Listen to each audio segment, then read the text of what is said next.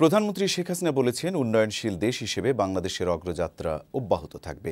একাদশ সংসদের দ্বিতীয় অধিবেশনের সমাপনী ভাষণে প্রধানমন্ত্রী কথা বলেন। এ সময় তিনি বলেন, উন্নয়নের ছোঁয়া তৃণমূলে পৌঁছে দিতে কাজ করছে সরকার। জাতির পিতার স্বপ্ন পূরণের পথে এগিয়ে যাচ্ছে দেশ।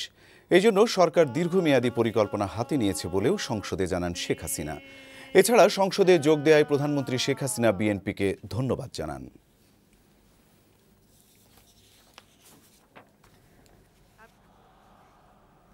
আজকে আমাদের দারিদ্রের হার আমরা একুশ ভাগে নামিয়ে আনতে সক্ষম হয়েছি।